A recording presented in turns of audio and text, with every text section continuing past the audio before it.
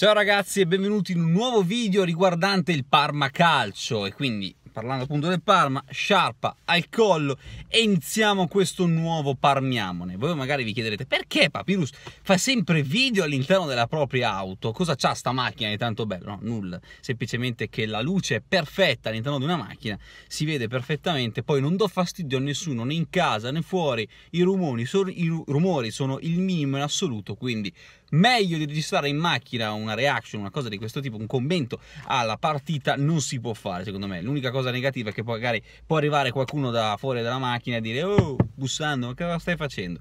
L'unica cosa negativa. Per il resto, parliamo della partita eh, che c'è stata appunto tra Parma e Piacenza, almeno per quando sto registrando io ieri sera. Eh, non so se riuscirò a, fare, eh, farvi vedere il video già stasera, altrimenti sarà per, eh, per, appunto domani, per me, però voi lo state vedendo in questo momento, quindi il video è uscito.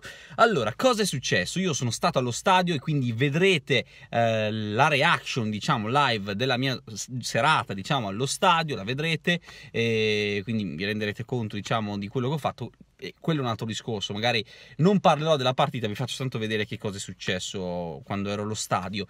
Per il resto io vorrei parlarvi sia della partita Parma-Piacenza, sia dei gironi, eh, scusatemi, delle, mm, come posso dire, dei sorteggi, non mi veniva la parola, dei sorteggi che ci sono stati dei quarti di finale delle Final 8 eh, del, dei playoff di Lega Pro.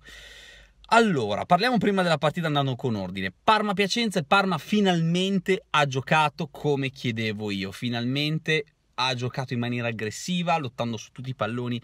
Eh, si è visto una squadra che lotta, una squadra che eh, si è chiusa perfettamente in difesa, proprio come voleva il mister, che alla vigilia proprio, appunto diceva che eh, voleva una squadra prima di tutto bloccata in difesa, poi eh, per l'attacco si sarebbe eh, visto dopo, successivamente. Infatti, così è andata una squadra che ha iniziato ad attaccare fin dal primo minuto, molto bene. Ho visto i primi, i primi dieci minuti, il primo quarto d'ora, una squadra molto attendista, ma quello forse era più che altro per uno studio della squadra del Piacenza quindi ci sta per, la, per amor del cielo eh, quindi diciamo tutto quello che ho detto all'andata la partita per come era andata all'andata eh, col senno di poi è stato giusto così, cioè all'andata fuori casa, magari belli bloccati 0-0, tranquilli, poi in casa dare il 100%, ci può stare come mossa, eh, però è questo che voglio vedere, cioè almeno lo volevo vedere, il, il lottare su tutti i palloni, eh, andare a calciare sempre decisi in porta. Ho visto un Baraie molto, molto giù, veramente molto giù a livello atletico. Eh, penso che abbia avuto un piccolo infortunio precedentemente alla partita, per questo l'ho visto molto giù. Faceva molta fatica a saltare l'uomo, ha sbagliato un, un gol assurdo a porta vuota, 3 contro 0 praticamente. Eh, però poi ha segnato il gol del 2-0, quindi va benissimo così. Uh, l'unica pecca magari della partita, a parte vabbè Baraia che ha giocato un po' così così, l'unica pecca ho visto l'attacco, mm, questo però l'ho visto nel primo tempo, l'attacco che è molto statico, ho visto che si muovono di più i centrocampisti che gli attaccanti, è una cosa che io da ex attaccante non condivido, non so se magari è una scelta del mister, però una cosa che mi ha fatto un pochino storcere il naso, però vabbè. Complimenti al Piacenza, oddio mi è caduto il telefono, complimenti a Piacenza comunque che ha fatto un'ottima partita, più di quello secondo me faceva fatica a fare Piacenza. Eh, è un ottimo organico, però d'altronde ragazzi, quando gli individuali giocatori così, eh, così, forti individualmente come quelli del Parma emergono, si fa, si fa, vedere la classe, quindi non poteva far nulla il Piacenza. Poi ha giocato anche in 10 fino a, per un certo momento un po' della partita, quindi ci sta che, che non, ce l'abbia fatta. Comunque, comunque, grandi complimenti al Piacenza per l'ottima partita comunque disputata sia da andata che da ritorno.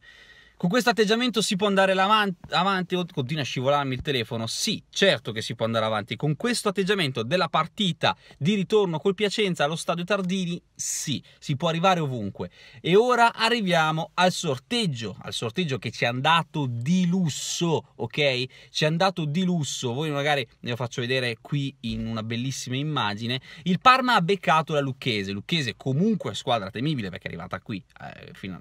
chiunque Parma becchi in questo momento è una squadra temibile, ok? Partiamo da questo presupposto. Però rispetto a Alessandria che è arrivata seconda, Lecce che è arrivata seconda, che tra l'altro si scontreranno loro due, mi dispiace per loro, però per noi va bene perché una delle due volerà fuori per forza.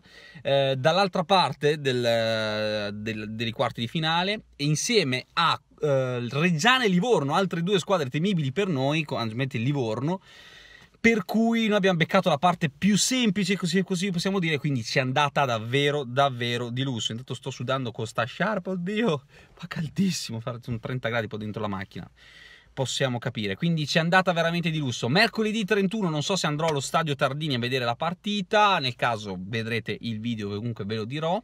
E ritorno si gioca il 4 giugno a Lucca.